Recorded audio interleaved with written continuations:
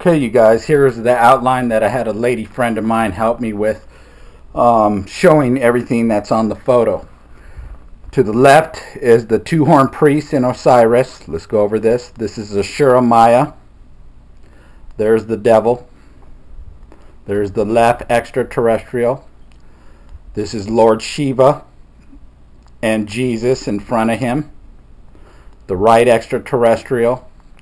The bottom ET holding the two-headed serpent. Now that's the grand illusion with the outline showing all the characters, the main characters of the photo.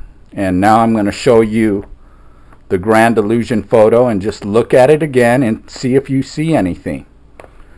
And like I said, there's no other photo in the world like this.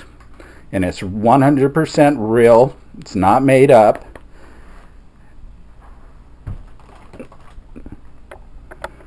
And I took this in January 7, 2004 in Aloha, Oregon.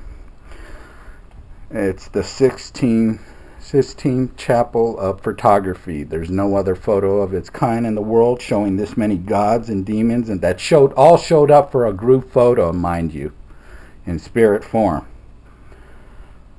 What an amazing um, to be capturing this and I'm so glad I'm bringing it to you people.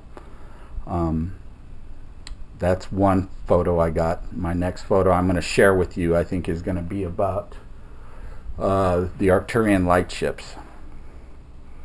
So there you guys have it, the world exclusive, the grand illusion photo of the gods and the demons and the extraterrestrials.